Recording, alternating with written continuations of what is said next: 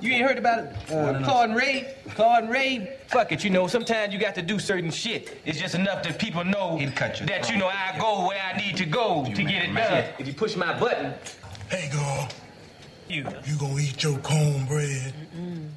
You talking to me? Yeah, done now. If he wants some cornbread, let him go up to the front and get his own portion of cornbread. That's your cornbread. Fuck him. Hey, man, he gonna eat his cornbread, all right? Oh, motherfucker, you can't have my cornbread. That's for damn sure. Because if you try to take my cornbread, part two of my killing spree gonna begin up in here on your ass right now. If you think about my cornbread, better get the taste out your mouth. That's for damn sure.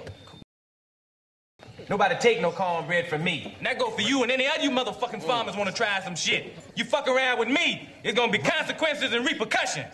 Maybe I ought to eat your cornbread.